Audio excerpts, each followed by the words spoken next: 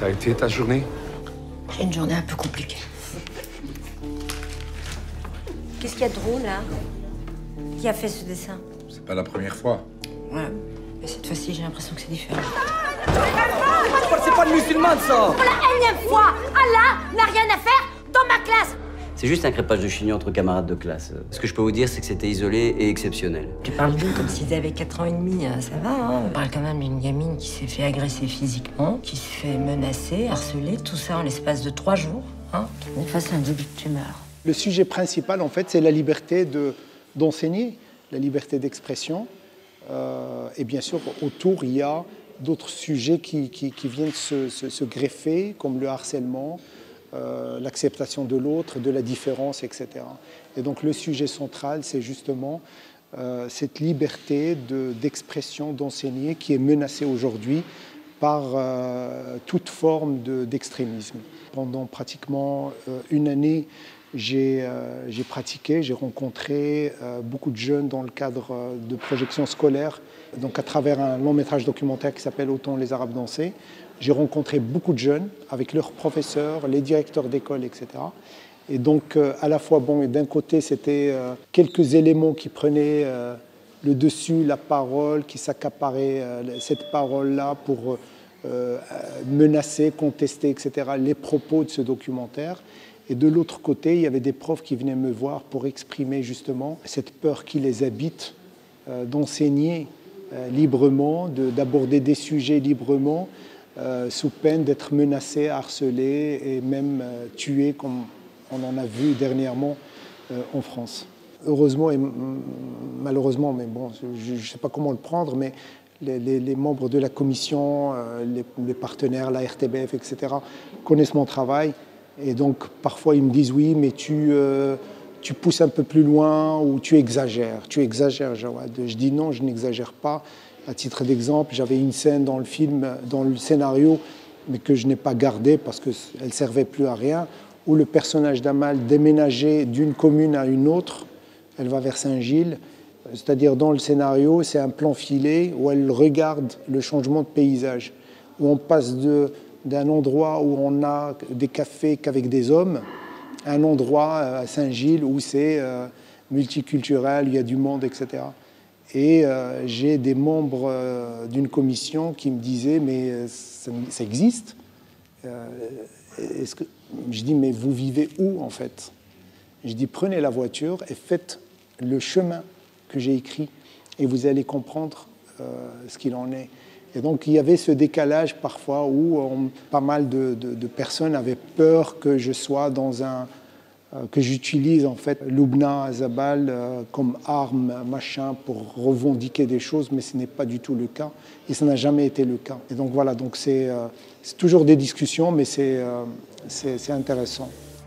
Aujourd'hui, vous allez découvrir un nouvel auteur, Abou Nawas. Il est musulman et il aimait aussi bien les hommes que les femmes. Faut que t'arrêtes, Amal. Contente-toi de faire ton travail et de rentrer tranquillement chez toi. Impossible d'enseigner à Bounawas aujourd'hui.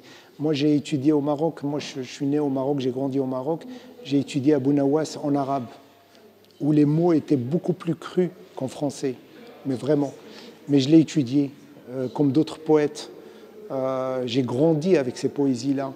Et euh, comme je le fais dire par la prof à ses élèves, moi, il a changé euh, ma vision de, la vie, du monde, etc. En tout cas, parmi, parmi tant d'autres.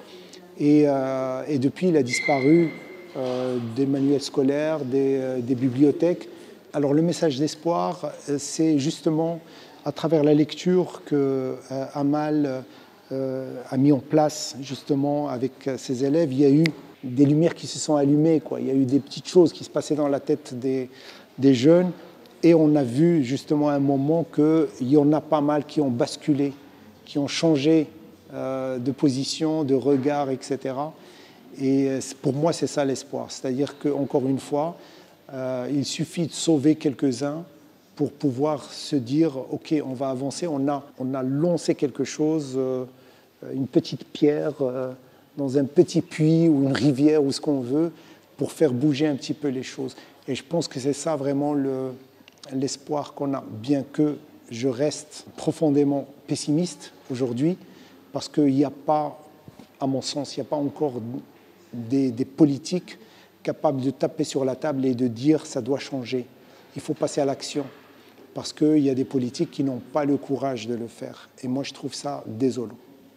Euh, là, on est dans, une fiction basée sur la réalité, mais au niveau du terrain, de la réalité de tous les jours, c'est très très compliqué.